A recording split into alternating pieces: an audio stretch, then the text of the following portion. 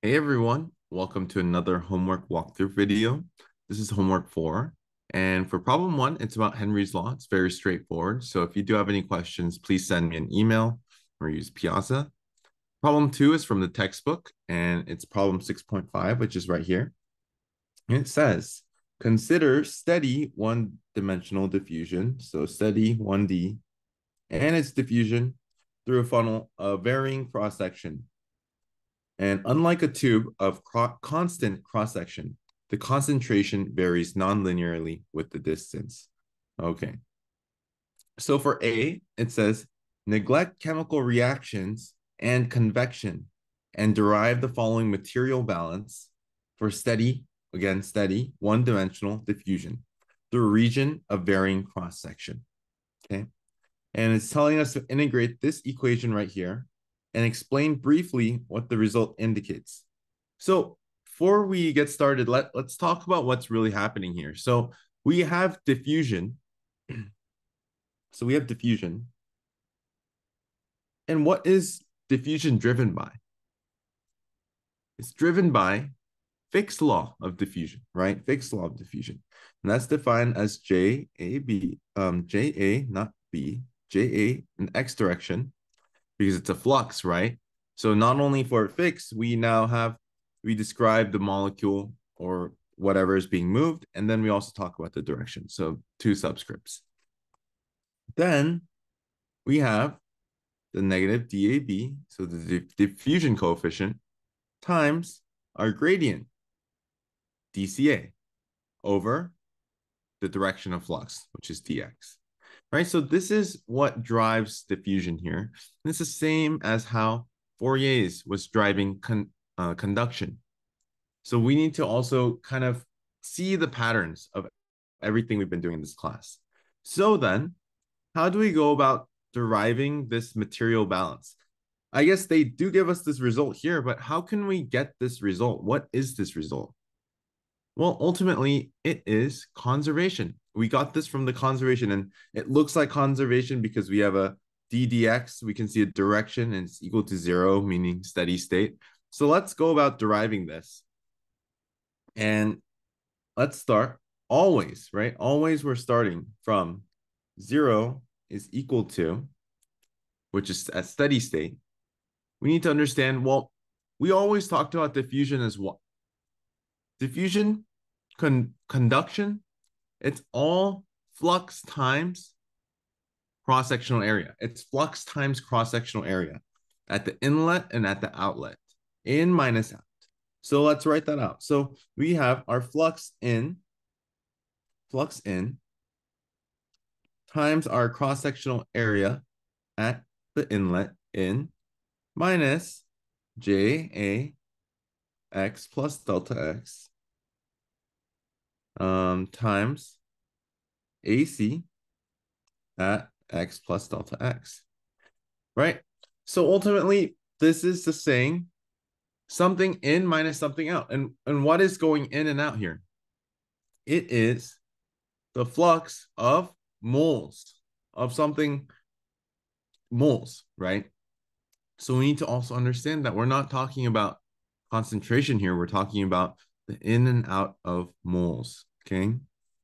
And we'll go over that another homework question coming soon. Okay, coming up very soon. So what's the next step? Well, we need to divide by the shell volume. And what is the shell volume? Well, the volume um, and can be approximated because we're talking about a very small change in delta x. It can be just assumed as the cross-sectional area times delta x, okay? So that's what we're going to use as our volume. Okay. So then that means that when we divide all of this by volume, um, I'll move it here. We will get the following. We will get the following. Zero is equal to one over AC. And then it's going to be times JAX times AC. And all of this right here.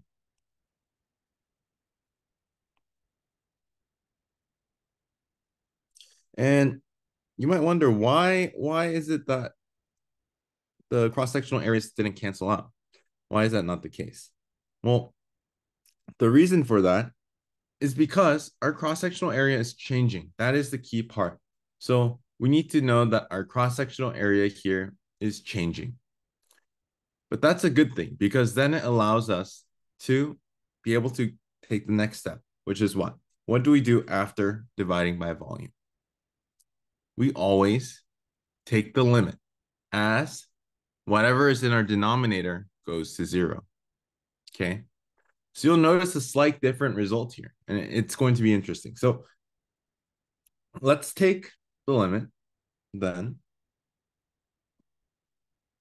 as delta x goes to zero. That means we will have, first we're going to have a negative, so I'm going to put the negative here already. And then we have a negative because we have the in minus out, right? But if it was out minus in, we wouldn't have a negative. Same thing we've seen last quarter and this quarter. It would be d j a of x times ac over dx. And then we can move all of this over to the other side. And that gives us what? What does that give us? This gives us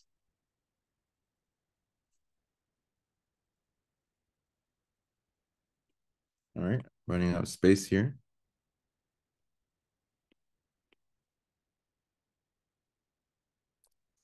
djx times cross-sectional area. So ddx of all of that is equal to zero.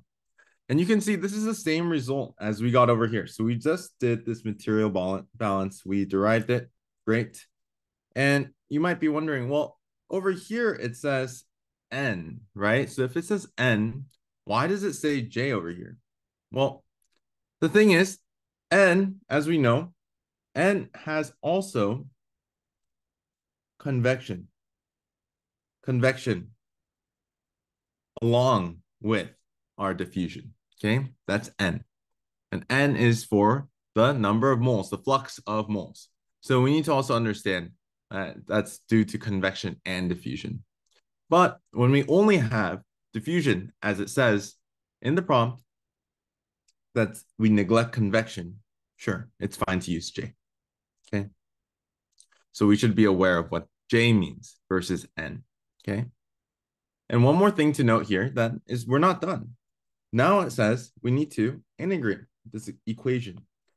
And at least for this question, I will go all the way through because it's important to talk about our result here. So that means when we integrate both sides, move the dx over, take the integral, right, on both sides. Well, over here, we're going to get JAX times AC. And over on this side, we're going to get C1. We're going to get some constant. So what does this result mean? Well, let's move it over to the other side. Now, what does this result mean? This result means that the flux, the flux due to diffusion, right? Let's do this, right? As AC, as our cross-sectional area gets bigger, what happens to our flux? Well, it's in the denominator. So, of course, flux is going to go down. And likewise, if our cross-sectional area gets smaller, our flux goes higher. And we also saw this in 325 when we talked about fluid flow, when our radius of our inlet outlet got smaller, right? Like this, right? We're talking about this. And we know there's higher flux here, right? Or a higher velocity here. And why is that? Why is that? Ultimately, it's because of our conservation, okay? We said that whatever's going in and whatever's going out, there's going to be zero accumulation. Okay. That's why. That's why. So that's why we know that the flux decreases as our cross-sectional area gets bigger. Okay. So this should be the result we get. And then let's move on to part B. So part B says the radius varies linearly with distance along the funnel and given this formula. And now it says use Fick's law and use the result from part A and equation 6.12.2, so this one over here, to show that the steady state flux is this, right? This right here. All right. And we want to show this by using these boundary conditions, okay? So let's just start by writing what it said to start with. Use Fick's law. So let's write Fick's law, JAX equal to negative DAB times DCA over DX. Great.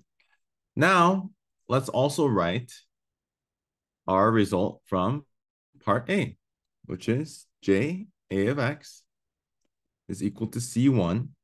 And it's clear here, this is C1, it's just a constant. It's not concentration. C1 time or divided by AC. Great.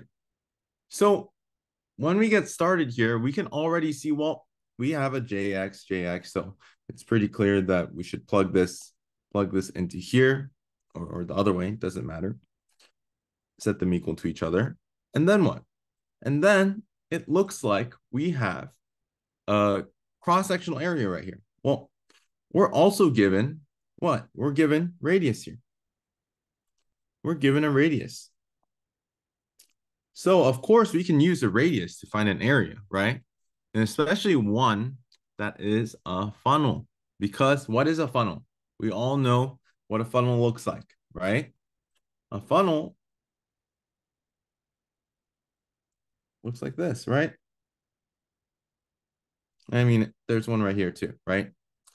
And it's rotated about the x-axis, right? So what is this? This, the cross-sectional area of this funnel is going to be a circle pi r squared. Pi r squared with changing radius. Great. So that means we can now plug everything in and set them equal to each other. So DAB, DCA, DX is equal to C1 over, let's see, pi, pi R naught times 1 plus x, oops, plus x over L, and all of that is squared. All of that is squared. Okay, great. So now we have this, but before we keep going, before we keep going, this is really important to practice this kind of thinking on your own is where am I going with this? What am I trying to find? Right? What what is the goal of all of this? Well, let's go back to the question. The question said that I need to, or we need to, show that the steady state flux is this, right? We need to show that this is the steady state flux. Okay. But what we're where we're going here, we have nothing about flux here. There's no flux. I don't see any J here. I mean, maybe the J from earlier. But that doesn't help us. If we if we just use this up here, that doesn't help us find JA of X because we still have this C1, right? So what is going on here? What are we trying to find? Well, let's remember what flux is, right? So n i of x is equal to here ja of x because we don't have any con convection. And that means ja of x is just equal to the diffusion term. So by Fick's law, it is dab times dca dca over dx, one dimensional right? And now we can see, wait, you know, I, I see a DCA here. This is just the constant, so it's fine. And it also has the D here too, so that's fine. I noticed they just use IJ here. I, I've been switching between A and B, so maybe I should I should write A here. Okay, just so I'm clear. Should not be switching back and forth. Okay, so then we can see here that dCA dx, I need dCA dx. So if I solve for dCA dx, then I can just plug it in here, right? Well, not quite, right? Not yet. Because we also then take a look at the boundary conditions. What boundary conditions do I have? Well, these are all boundary conditions that give me the specific concentration, not dCdx, not the slope, but the concentrations at given points, which means that instead of using dCA dx, I can use CAX, right? So what is CA of X, right?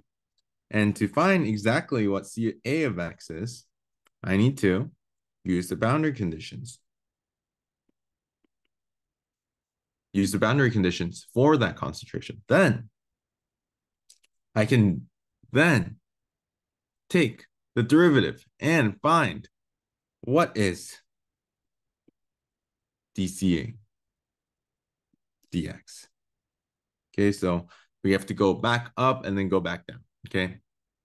And then we can plug it in here, and then we can solve for our flux, okay? Our flux, our steady state flux, okay? So that's for question two. It's really important that we're able to create this kind of roadmap, that we're able to understand where we're going, that we're not just plugging and chugging without having a direction, okay? We also should know what the point of this question is, what's really asking, and the necessary steps to get there. Okay, that that's really it's an important skill in last quarter as well as in this quarter. Okay. All right, let's move on to the next question. All right, let's move on to homework question three. So I know for this homework, you all can choose just completing three out of four of the questions, but I really do recommend this question. And I mean, coming from uh, being a student in this class two years ago, I would definitely skip this question because it's it's the most challenging. I'd say it makes you think a lot. But as a TA and after TAing this class last year, this problem really will help solidify your concepts in conservation. I really believe so. So I really do recommend giving this question a shot. Give it a chance because it will really it it helps you connect everything all together in a unique way. Okay, so let's get started. So we have nitric oxide, abbreviated as NO. No, so it's a little confusing there, but NO. And then blah blah blah blah blah blah blah blah blah blah. Okay, we want to examine the transport of a gas through an alveolus and into the capillaries. And then, okay, we don't need to know that.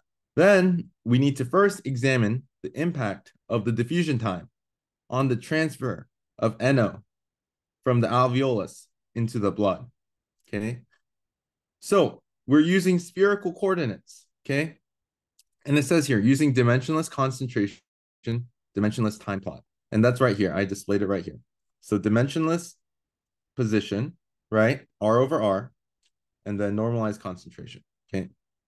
So show that the gas diffuses quickly enough that this process is not limited by diffusion within the gas phase, okay? And the plot is found here uh, on page 08, but it is right here. And it's given some assumptions. We're given some assumptions, okay? So let's actually take a look. So problems involving unsteady diffusion. Unsteady diffusion, right? It just means that this term is not zero. Is that they can be solved in a manner analogous to that of uh, rectangular coordinates. Okay, so consider unsteady diffusion in a sphere of radius r. And initially, the concentration is uniform at C naught. So when we when we do this, let's actually try to break this apart and really understand that what this is saying here. First, right? We know we know what this is diffusion. This is diffusion. And this is what the question was talking about. We're just talking about diffusion here. So we have diffusion here, and it makes sense. This is what? This is this, it's just this, right? Right, it's our diffusion term. Um, square, right? It's our diffusion term. So let's let's not be too confused by what this is saying here. Then we have our sphere. Okay, and I'm I'm modeling this in rectangular, but you can imagine it's a sphere like this, right? And this is our center. Okay. So this is our center. And this is our blood, right? This is the alveol uh, blood, right? So let's think about this.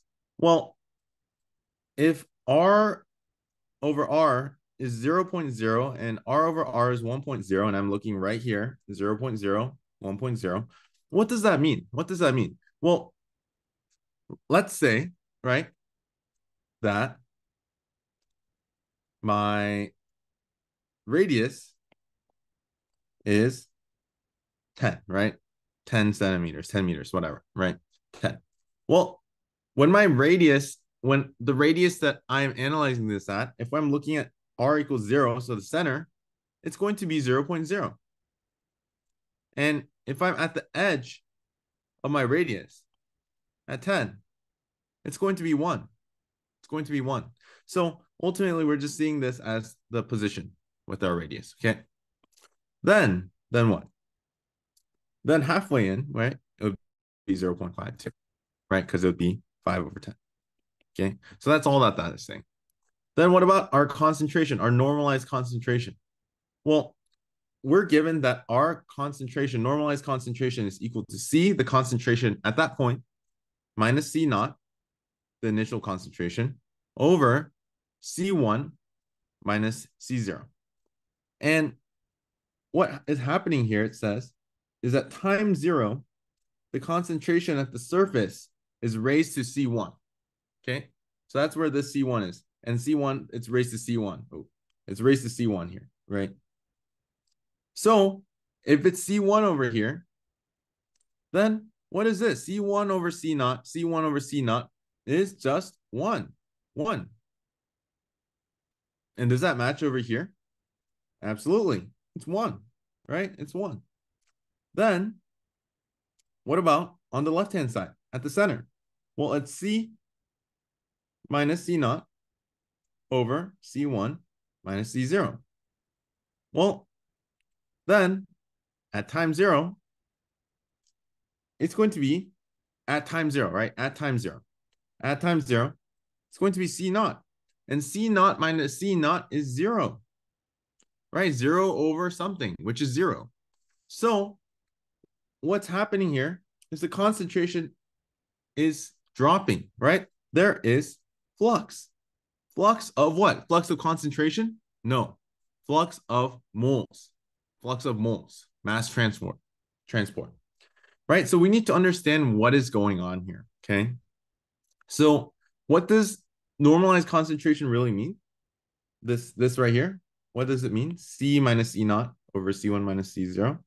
Well, normalized concentration. It just means, right? It's the percent change of the set change. The set change is C1 minus C0. That's just the set change. And then we're seeing how much of that is changing, the percent, right? Well, here it's, it's 0%, and here it's 100%, which we would expect because we're changing it literally here, and we're seeing with that with respect to this, what's the change? Okay. All right. So that's all that that's saying. So now here, let's go back to the question now that we've really understood what this plot is showing, right? Then it's saying, show that the gas diffuses quickly, that it's not limited by diffusion, okay? So this is showing diffusion again here. And what is the parameter changing in this? What is the parameter changing? Why do we have all of these different lines? What what is what is this? Ultimately, right? Ultimately, it's right here. Dij times T, don't forget the T. I know it's hidden there, but it's there over R squared. Okay. Dij T over R squared. Okay. And let, us actually write this for what it is. Here we're looking at NO, DNO, right? So this is a dimensionless parameter. And you can check this by checking the units. They should all cancel out. So then what does this mean? This means that our diffusion, right? How well something diffuses depends on this dimensionless parameter. And if you actually look at the book notes uh, right after this introduction, you can see how they derive this dimensionless parameter and how, how it comes from this, okay? How it comes from this. So understand that this dimensionless parameter is for this function, is for this function, which is a function of diffusion, diffusion. And let's remember, dimensionless parameters, those kinds of things, we talked about in 325 when we did Buckingham Pi, Buckingham Pi. We did it to remember that we did this, to group variables together, to see the change, right? Across a smaller subset of variables. So what does this mean? This means that if I impact any of these variables, so let's say I have a higher diffusion coefficient. If I have a higher diffusion coefficient, what's going to happen? I'm going to have better diffusion, right? So if I used to have a diffusion coefficient and this whole parameter was equal to 0.05, if I increased it, what happens, right? What happens? Then I have better diffusion. I have about 55%, right? Or 0.5 coming to inner radius, right? Does that make sense? Then I have better, right, diffusion. Okay. Or let's say I have a bigger radius. If I have a bigger radius, then this whole parameter value goes down. Then if I had this kind of diffusion, but I had a bigger radius, then my value goes down, right? And guess what? Right over here, this this also shows that it's at a concentration of zero at back back to zero, right? Back to C naught, right? It's not diffusing all the way. So that's very diffusion limited, right? It's very diffusion limited.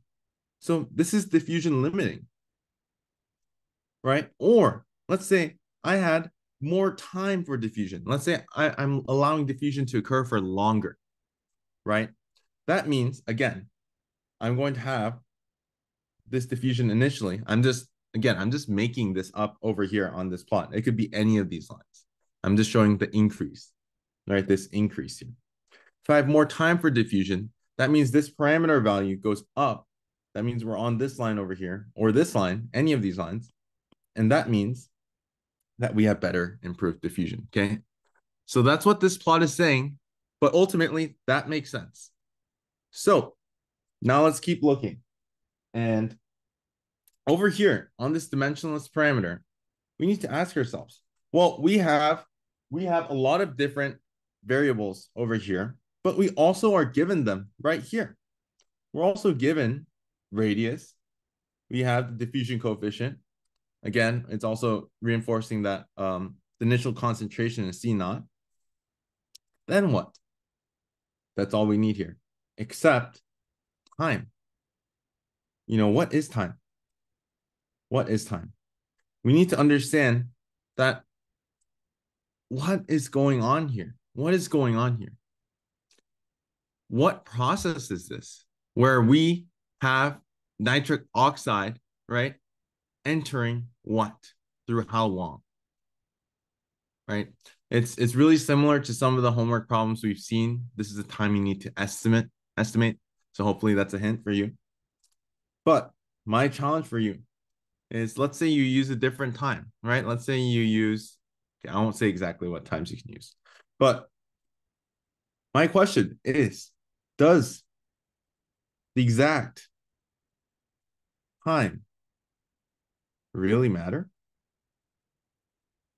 Maybe really matter here? Does it really matter here? That's my question. Does the exact time really matter for what dimensionless parameter number you get. So try it out. Make sure we convert all of our units to the same. Okay. So in the end, it's good practice to it's good practice to always convert to meters. But in this case, as long as the top and bottom, all of those are the same units and they cancel out, that's fine too, because it is a dimensionless parameter. Okay. All right, let's move on to the next part. All right, let's continue. So part B is talking about, so because diffusion inside the alveolus has almost no impact, well, that's the, a hint to the answer. Assume that the gas in each alveolus is separated from the blood by a membrane through which the NO diffuses. So let's be clear that now we're talking about some membrane, right? So it's not only just a alveoli anymore, but there's also a membrane, and this is a this is a sphere. Um, I don't know if I can. I'm not very good at drawing, as you can tell, but it's a sphere. Okay, it's a sphere, and and Now, the outer surface is held at blood concentration NO, while the inner surface has a concentration of Cm of T. So now we can see that there's a function Cm of T. And before we need to understand that Cm of T is what? It's the concentration at the inner, inner membrane, inner surface of the membrane, not of the membrane itself, but of the inner surface. So think about also when we did our COMSOL homework for homework two, we checked, we put like a probe and saw the temperature change over time at that position, which is exactly something similar to this function. Okay. And it decreases with time. It decreases with time as gas is absorbed through the membrane into the blood. So we can solve this problem as a time dependent first ODE, and we're given it here. Okay where beta is determined from the alveolar radius, membrane thickness, and diffusion coefficient of NO. Okay. So this is just the components of beta, but that doesn't mean we can just write it out, say beta is equal to all these things. No, it we can use this, but we don't know that if it's actually equal. Okay. So note that you will need to find the volume surface ratio of the alveolus because the volume determines how much NO is left, and the surface area determines how fast NO is leaving the alveolus into the blood. And this sentence right here, this sentence is definitely a big hint, right? It, it, it tells us we need these values for some reason. And that's for you to think, okay? Now, the real question here is what fraction of the initial concentration of NO is left in each alveolus after each breath? And we're given some values, okay? So before we get started, before we get started, we can see that there is an ODE, right? We can solve this problem as a time-dependent first order differential equation. So let's write that out. DCM T over dt plus beta Cm of T is equal to zero. And right away we're like, oh, this this this really looks like a bioheat transfer equation. We've seen these kinds of equations before. But no, this is different. Different than transfer equations. Transfer. Oops, transfer equations. And why? Why is that? Because it is a time, time derivative. And we can see here, right? This is time and time, right? We're talking about time here. So how do we do this ODE? How, how do we solve for it? Well, here we use a Laplace transform, okay? It's a shortcut, but yeah, Laplace transform. Use Laplace transform. And we all should know this from math 207. And then you should show your work. Show work for credit, right? For credit. Always show your work. And your solution should be CM. And we already know when we look at this um, ODE, we've seen this kind of ODE so many times and we know the solution, but still you should show your work with the Laplace transform. It's going to equal our initial condition, Cm of zero, which means not at radius zero, but at time zero of our inner membrane, times e to the negative beta t. Okay, that's what it means.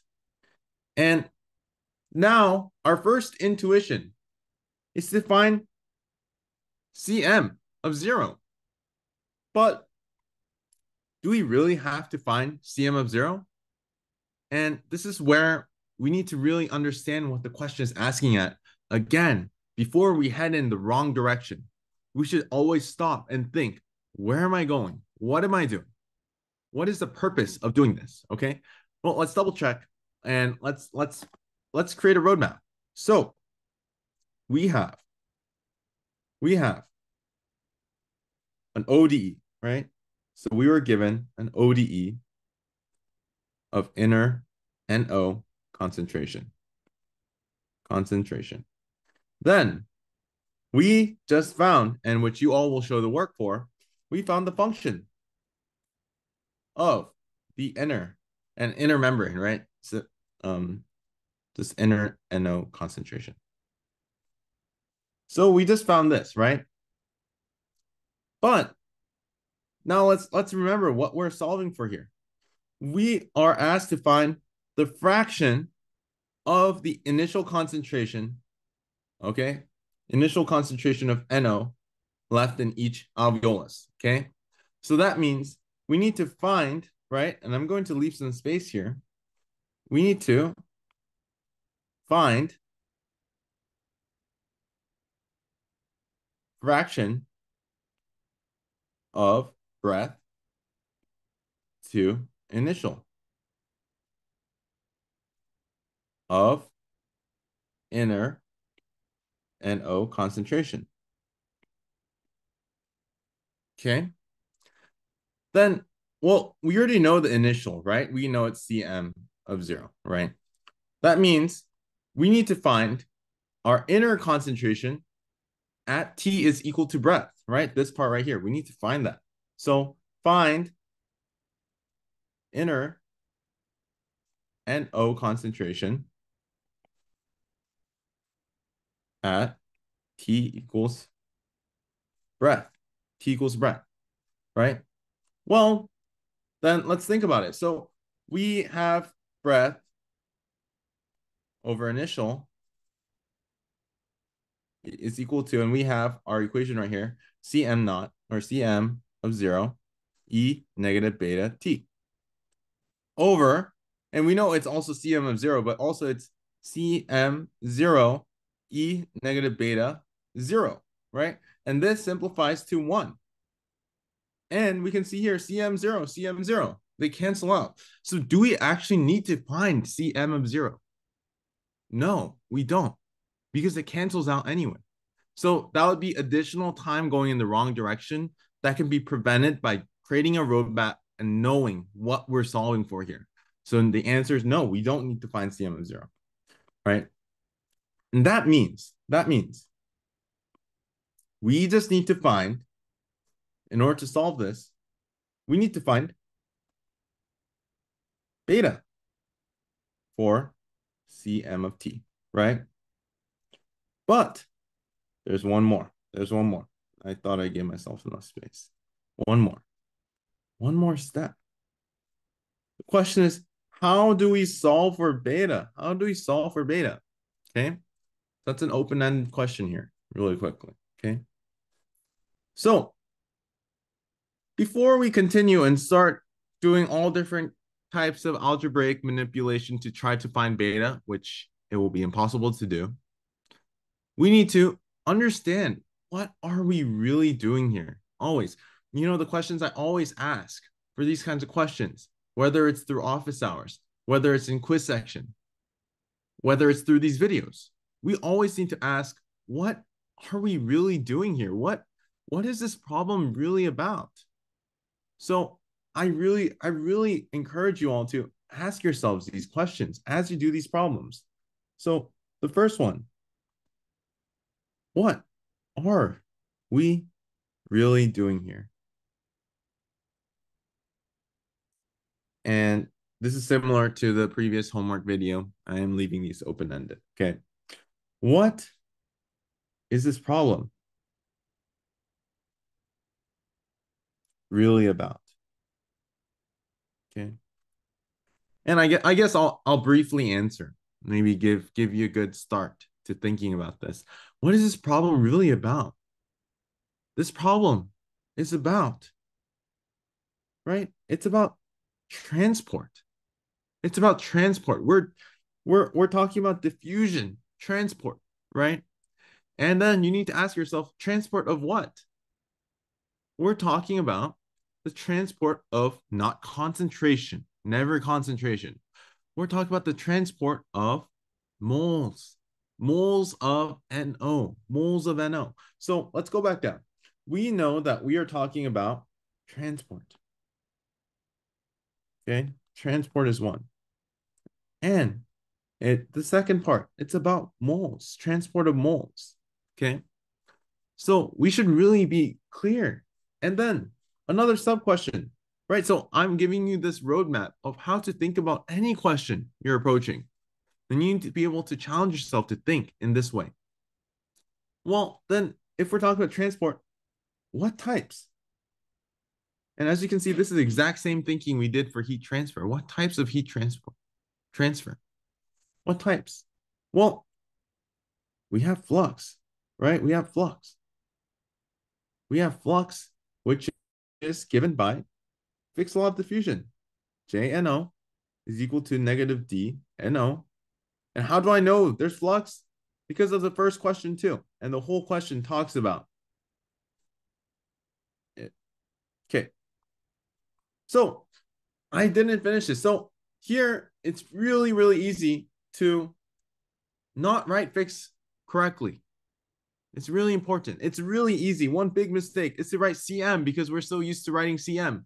But no, we are talking about, remember, CM is at the position of the inner membrane.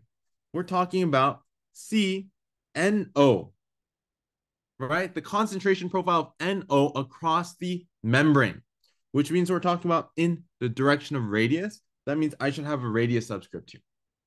This is really, really important. Really, really important. I cannot emphasize this enough. We need to understand the direction and what we're transporting through. Okay. Then, is that it? No, we actually have another form. We have another form of transport, right? And I, I call this a form of transport. It's not really transport, but it is, right? And that is accumulation. And how do we know that it's accumulation? How do we know it's accumulation? Well, it's really easy, right? We have Cm of t, Cm of t, right? And we need to remember, you know, that this is a time function, time function describing the concentration at certain point. So that means it's not at steady state, it's changing.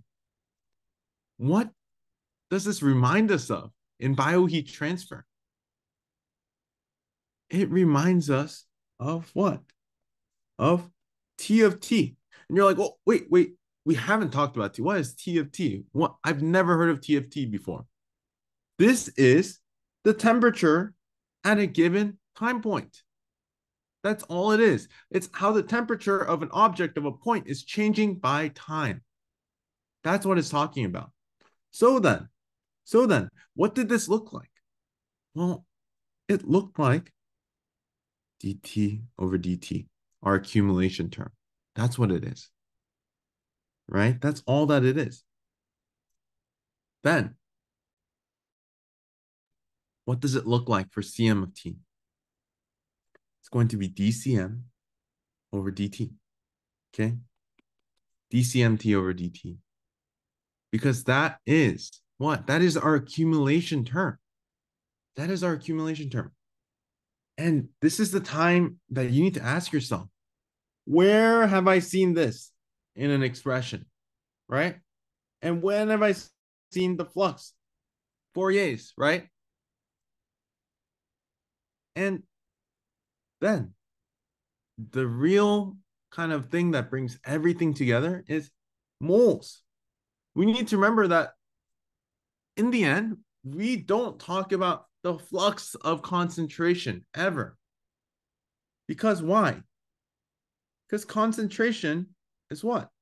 It's given in molarity, right? Molar. And we know concentration is equal to what? What is it equal to? concentration is equal to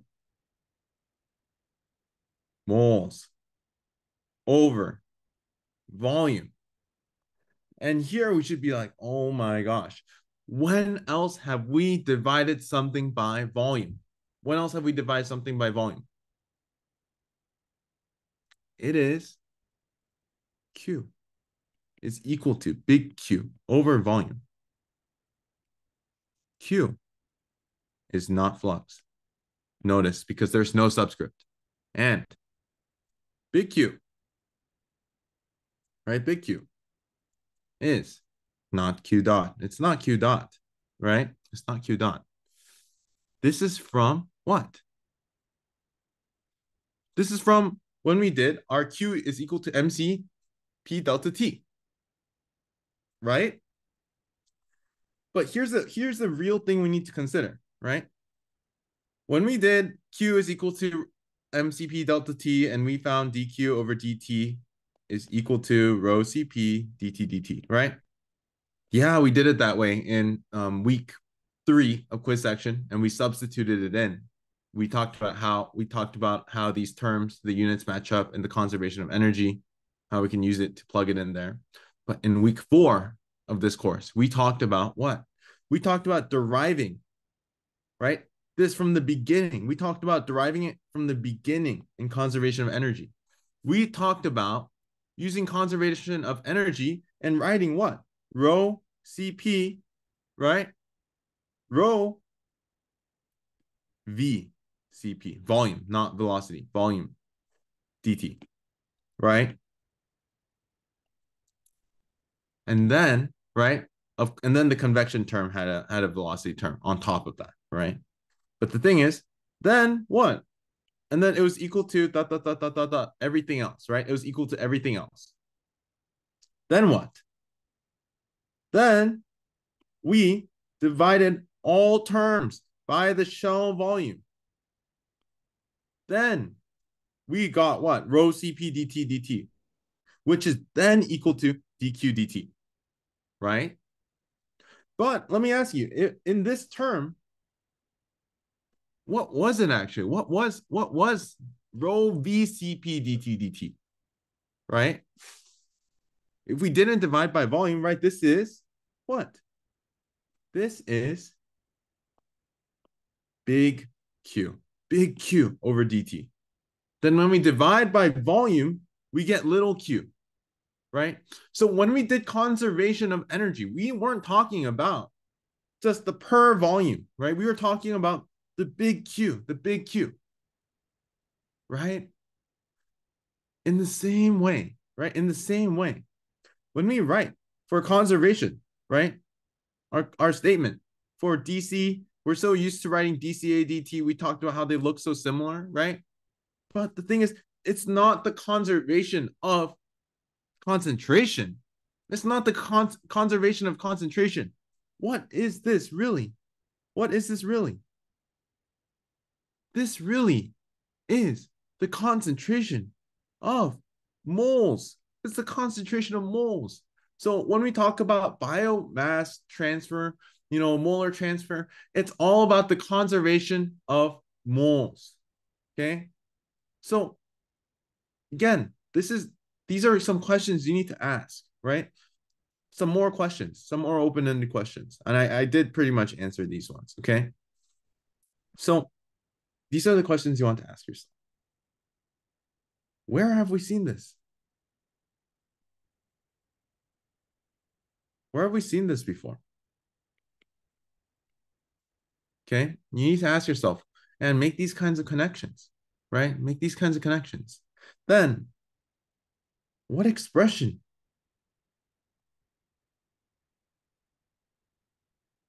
do we write? Right? Then you need to ask yourself, you know, is this is this shell balance? Is this shell balance?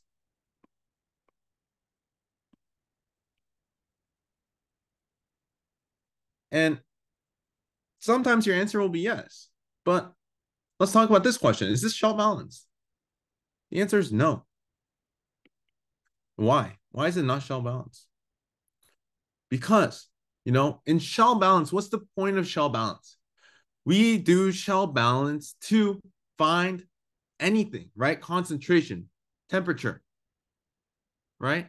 Shear stress, velocity. We try to find these at a given spatial, spatial point, right? So we are not, we are not finding, finding, not CM of O, C N O of, not of T, but of R, right? We're not finding that. We're not finding this of the membrane. We are finding Cm of t at that given point, right? It's a time function. It's a time function, you know, of the concentration of NO at the inner membrane. Okay. So we need to know that we're not finding the spatial position change. We're just talking about one singular point and the time. So it's not shell balance, but it is something that we use in shell balance. That's my hint. It's something that we absolutely do use in shell balance. And this is my final question. You should always be asking yourself how this all connects to everything. You know, what is the core principle that we have been learning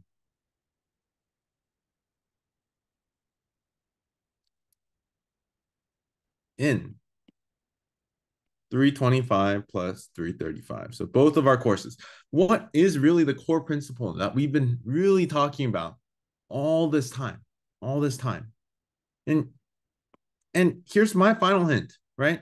Here's my final hint and this it's pertinent to this question. So these questions always be asking all these in the red. Ask yourself these questions whenever you have a problem, whenever you're approaching anything. Ask yourself, where have I seen this before? What expression are we trying to write here? What is the core principle that we have been learning? What does this really connect to? Right? So the final hint, don't don't just solve. Don't just try to solve for beta. Okay. Think about the above questions, right? Write the write the expressions. Beta will ultimately, right? It will solve for itself. Okay, it will solve for itself. Once you consider all these questions, write the expression that really unifies all of this that we've been talking about. I did not write this here for no reason. Okay. I want you all to think why is this on the screen right here? Why are we talking about the different types of transport? Why are we talking about why are we talking about this? Right? This is a huge, huge takeaway here, right here. Okay. What is it really saying? Right? What is this step? Okay. What is this step? I know that this is this is a really challenging question to think about, but already after talking to some students, you know, after leading them through these exact same questions, huge light bulb moments. And I know you can too. Okay. So really push yourself to connect everything we've learned up to this point for this question. I really, really challenge you. Talk to a friend, talk to the TAs, try to think about it, bounce ideas back and forth. Then that's where true learning occurs. Not through just by following these this video, not by just copying an answer. It's really by self-thinking, being able to connect all the dots together. Okay. Let's move on to the last question. All right. So let's start with question four. So this is about doing problem 7.2 from the textbook. And there's also example 7.1, and it goes through the derivation of the Peclet number. Okay. And again, it says the derivations are not required, but are recommended as practice. I do recommend them. And again, the textbook, it looks really bad here. So you can barely read any of this, but I will not go over it personally, but it does talk about it here. One more note to add is that it gives you this graph on the Peclet number. And then there's actually an additional portion in the textbook that um, continues off the example. Okay. So make sure you're scrolling all the way down because this is the equation we need right here. And it's impossible to read here. So I will rewrite it out. But this is the equation we need at the very, very bottom. Okay. So let's read question 7.2. we're given the definition of a perm of permeability across in rectangular. Okay. C naught is the solute concentration, CL is the concentration of the lymph, and L is the thickness, and assume CL is equal to zero. Okay. Use this definition of the permeability and the flux across the membrane, where fluid flows across the membrane. Um, our partition coefficient is equal to one, and then find an expression for the permeability. So we need an expression for permeability, which is right here, right? Right here. And what are we using? Well, we are using this definition from the textbook. So please go and look at that and find it too. I will rewrite it here just because I know it is hard to read. So we have um, the flux. Uh, this includes both convective and diffusion, right? and I in the z direction. So of solute I in the z direction, we should know what these subscripts mean. Solute I in the z direction is equal to the negative diffusion coefficient of I in J, right? In sol um, solvent J, dci over dz, direction of flux, right? Plus ci times vf, okay? ci times vf, right? and that's the concentration times our filtration velocity. Okay, filtration velocity. And is equal to what? It's equal to partition coefficient. And this this does not require any derivation, right? This is our basic core concept, right? We we've seen this before. Velocity times, you know, our concentration. It's equal to the partition coefficient of our diffusion coefficient over L L is the thickness. And then we have Peclet number, Peclet number. All of it times, and I am out of space. Great. One second.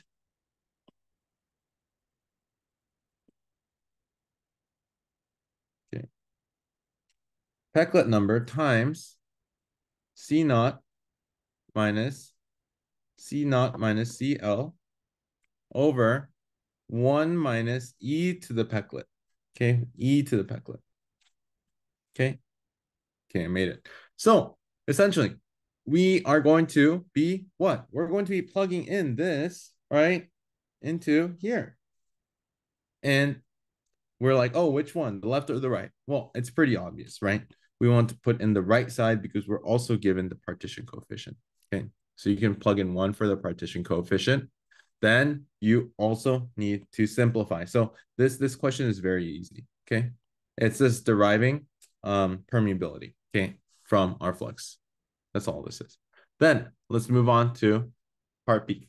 Part B is talking about the diffusion limited transport when Peclet number goes to zero, that the permeability, this is the permeability, is equal to D over L, Dij over L, okay?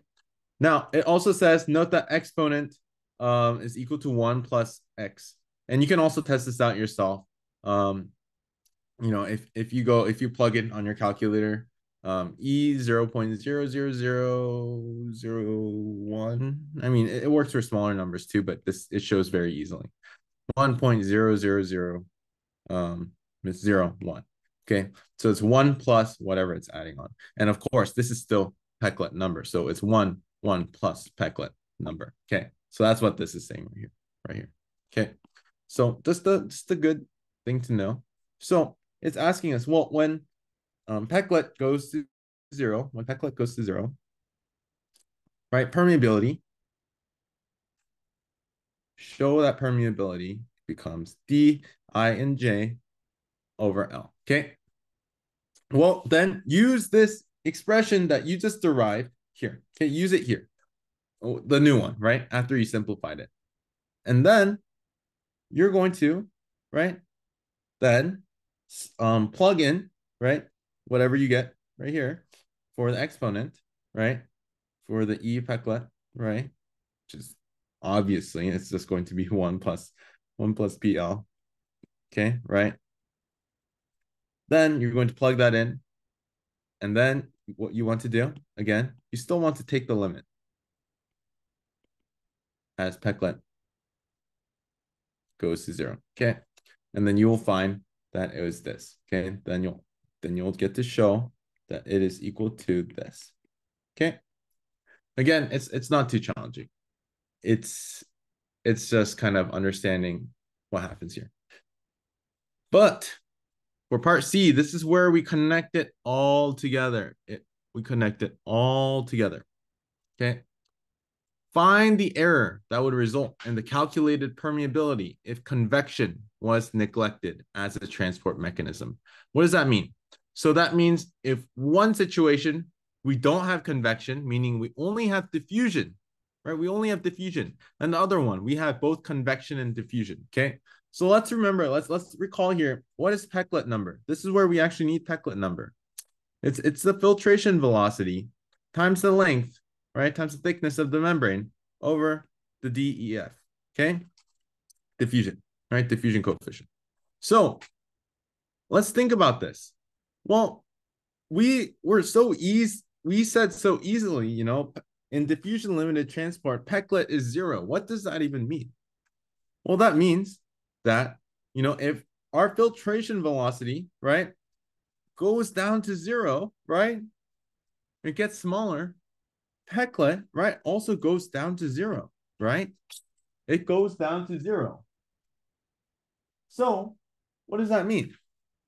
That means that pretty much Peclet number, as it gets smaller, it means that there's more diffusion, right? There's more diffusive, diffusive forces rather than convective forces, right? On the other hand, if we have an increase in velocity, that means what? We have an increase in Peclet number. So that's higher Peclet number, right? It's really important to know that. Then, right, let's remember, we just talked about this. We were able to find the permeability, right? And you should show your work here. But we found the permeability for diffusion limited. So we'll write diffusion here, diffusion, right? Is going to be PI permeability is Dij over L, right? Then what about for convection, convective, right? Convective. Then, well, convective, um, let's see if I have a good place to write this. I'll go here. Convective and convective plus diffusive. diffusive. Oops. I'll just write diffusion. Is what? It's the permeability from part A. It's just from part A. Whatever, whatever we solve for here. Okay. So whatever you got from, from part A. Okay. Part A. Okay. So then that's where you can use these values, right? Use these values in your Peclet, also in your um, um, diffusion and convective plus diffusion expressions. Okay. Then it's asking us find the error, right? So we know how to find the error. It's going to say, right? And let's make sure it's it's clear what the error is. Result in the calculated perme permeability if convection were neglected. So that means it's only diffusion, right, is the change minus the normal, which, which is convective, or convection plus diffusion, right, over the normal, convection, and diffusion, right? And to get a percent error, multiply it by 100%, okay? That's how we can get a percent error is equal to something. Okay, and that is your answer for part C. So I know this homework is definitely more challenging than our, previous homework. Uh, I'd say the previous homework was a little um, easier than the usual homework. So we're kind of back at that same level. But this homework is really important to understand Peclet number. It's really important to understand everything and especially homework question three understanding how we can connect mass transport with bioheat transport, with momentum transport. It's really important that we're always thinking about the previous concepts we've learned because they all tie into together. They all tie in together into conservation. Okay. So thanks for watching. Good luck with the homework. Always happy to help uh, over email. And I hope you have a great rest of your day. Thank you.